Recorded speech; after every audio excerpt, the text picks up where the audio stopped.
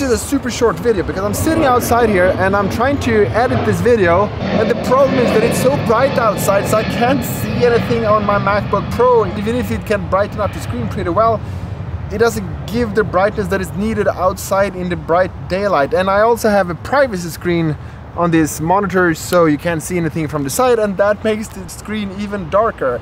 So what I found is an app that is called Vivid. Vivid enables the brightness that is usually reserved only for HDR content to be used over the entire screen.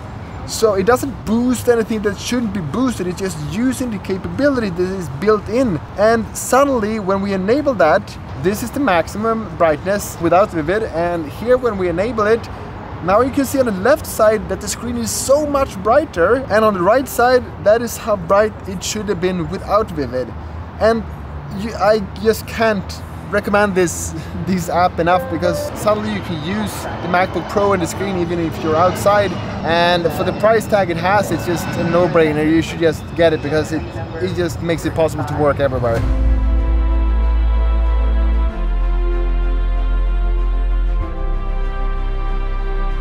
And we Vivid have listed different Mac models that it's compatible with.